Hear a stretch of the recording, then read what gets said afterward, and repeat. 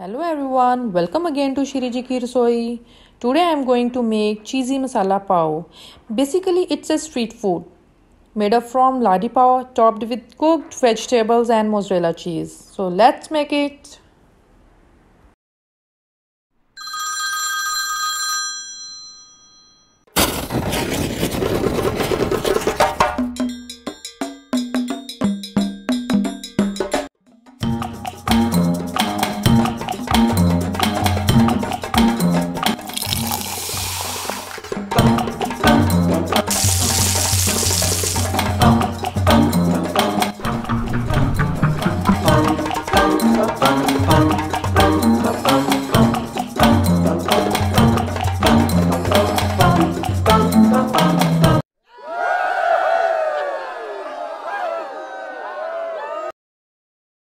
If you are watching my video first time, please subscribe my channel and press the bell icon so you can get all updates of my upcoming videos.